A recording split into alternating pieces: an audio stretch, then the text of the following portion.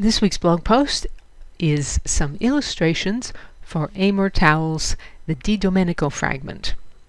Towles is the author of Rules of Civility and A Gentleman in Moscow, both of which I enjoyed. He recently released The Di Domenico Fragment. A fictional Renaissance painting gives the novella its title, and its narrator mentions a number of other artworks. As an art historian, I couldn't resist posting images of some of them.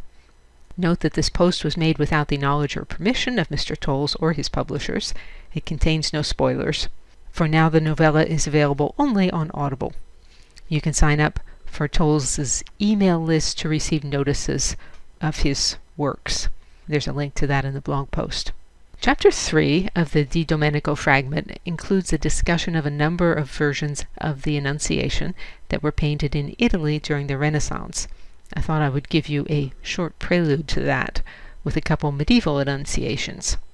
These remind us that some aspects of the Annunciation iconography, the way it's shown typically, such as the landscape background, the architectural interior, were not developed until the Renaissance when artists once again became interested in representing this world as well as the supernatural realm.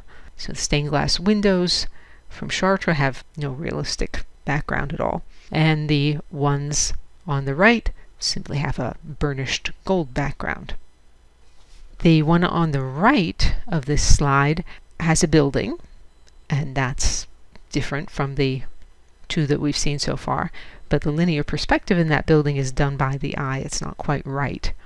This painting, in fact, was created only a few years before Masaccio introduced mathematically calculated linear perspective in his painting The Tribute Money which was done in the mid 1420s. Now let's go to some Renaissance Annunciations. Towles mentions Annunciations by Fra Angelico, Filippo Lippi, Piero della Francesca, Leonardo da Vinci, Botticelli, and Raphael, with specific dates for each painting.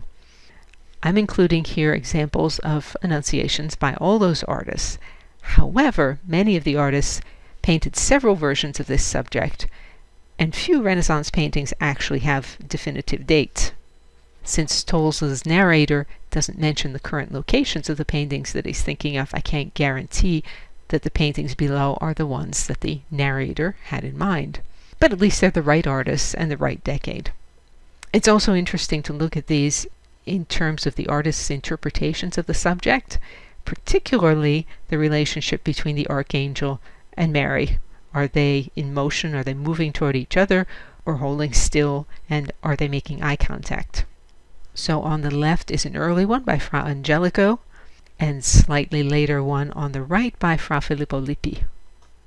On the left is one by Piero della Francesca, and on the right one that's been attributed to Leonardo da Vinci. There are similarities to his later works, but it's a matter of some discussion whether he actually did this all by himself. It's not signed. This one upper left is a Botticelli, 1481, uh, in fact, the very end of the 15th century. And the one by Raphael at the lower left is the very beginning of the 1500s. And just as a bonus one, this is by Giovanni Bellini. It isn't mentioned in the Di Domenico fragment. I've included it because the robes of the angel are just so startling. After the Annunciations, we move on to the Metropolitan Museum. In chapter 7, the narrator of the Di Domenico fragment takes his teenage relative to the Metropolitan Museum. You can get a sense of the size and the sprawling growth of that institution in my post on diannedurantewriter.com about the history of the Metropolitan Museum's building. The sketch from that is on the left here. The Lehman Gallery, which the narrator visits, is a pentagonal wing on the west side of the museum, and this is the outside of it the way it looks on from Central Park.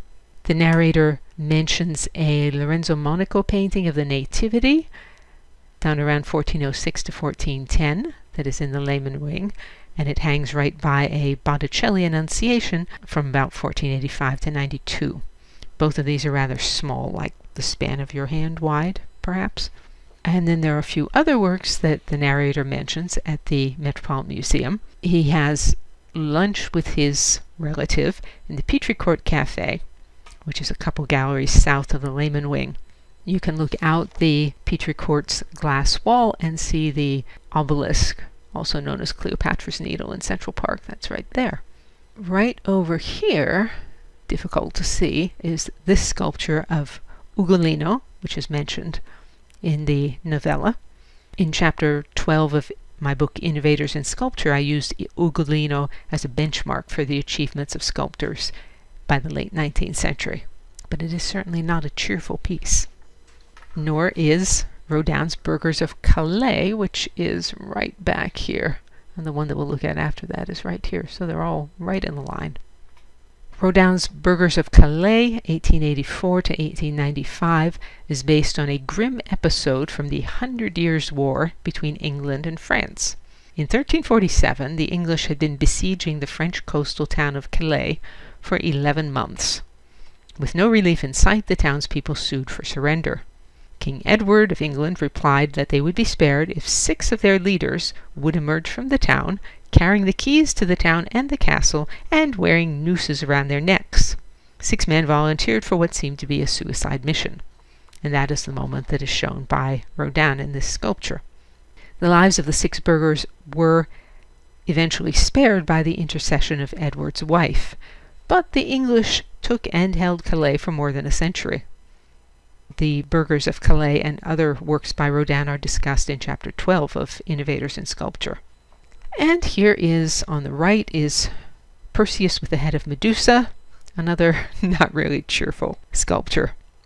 The narrator takes his teenage relative to the Arms and Armor Gallery, which is shown on the left, and their last stop is at the Studiolo, which was created around 1470 to 1482 for the Duke's Palace in Gubbio, which is in Perugia, Italy.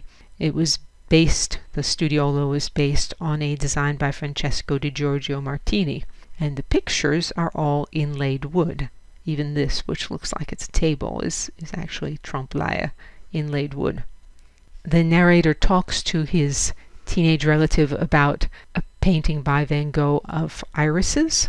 That's the one on the left here. It was painted in 1889 and it was sold in 1987 to Australian Alan Bond for $54 million. The painting is now in the Getty Museum. The Metropolitan Museum has a different painting of irises by Van Gogh, which is on the right hand side. And finally, a bonus piece.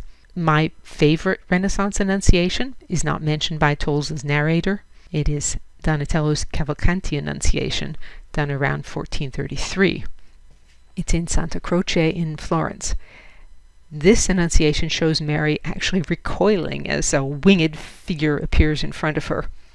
Donatello sculpted medieval subjects, but he rethought every composition and theme, not just for the Annunciation, but for the Madonna and Child, for David, for St. George, and for many more.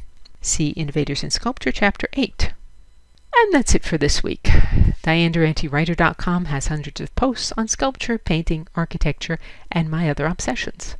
To join the free Sunday recommendations email list, visit the URL that's on the screen or email me. And you can say well done Dianne or support my work and receive rewards by means of the tip jar on DianneDuranteWriter.com. As always, thanks for listening.